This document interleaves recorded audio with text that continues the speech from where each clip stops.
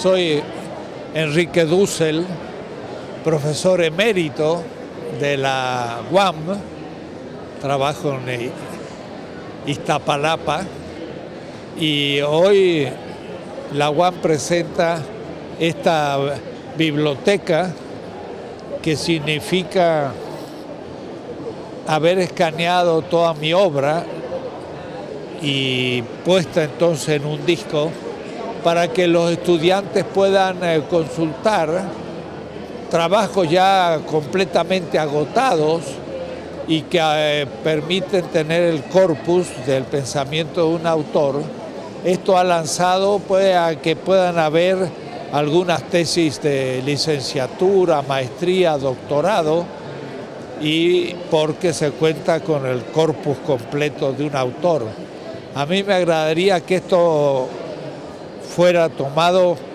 como una iniciativa a imitar por otros colegas y que la UAM eh, pudiera también hacer conocer de esta manera la obra de muchos profesores que sus libros están agotados, que a veces no se justifica una publicación o una edición de mil, dos mil ejemplares, sino de algunos cientos, y pues mejor es tenerlo en un DVD para que el alumno pueda leerlo y si desea ya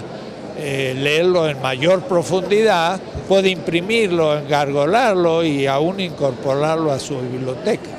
Así que esta ha sido una muy buena iniciativa de la UAM Iztapalapa, eh, Xochimilco en este caso, y que me ha agradado mucho. Ha sido muy bien presentada con un boletín o un folleto al comienzo donde se describen los libros y más de 150 artículos, de manera que el estudiante tiene toda la obra del autor. No, es, es muy importante, muy interesante, me alegro porque ahora pues, cuando doy una clase, eh, por ejemplo en ética, también está incluida la ética, entonces le puedo decir a los muchachos vayan a la librería de la, de la Guama ahí y cómprense el disco y bajen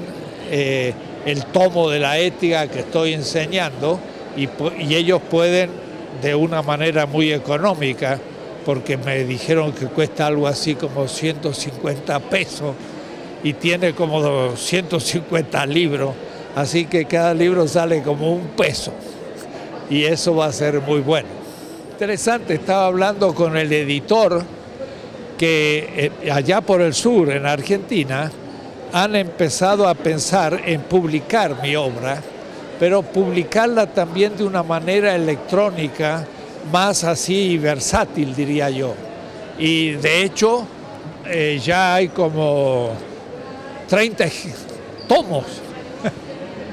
pero hechos de tal manera de que se pueden imprimir 10, 15 ejemplares o lo necesarios para un curso y entonces quizás podamos en el futuro tener la biblioteca electrónica, pero también una biblioteca de papel, impresa en papel, pero que se imprime a medida que los lectores la van pidiendo. Y eso sería también otra posibilidad editorial que es mucho más económica porque ya permite al, al autor publicar la obra,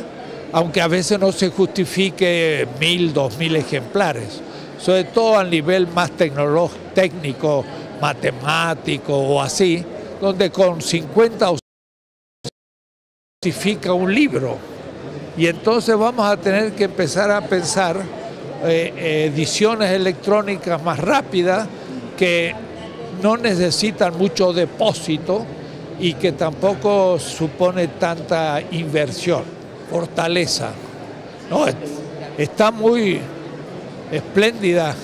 esta exposición en el FIL, en la, la Feria Internacional del Libro de Guadalajara, la presencia de la UAM es imponente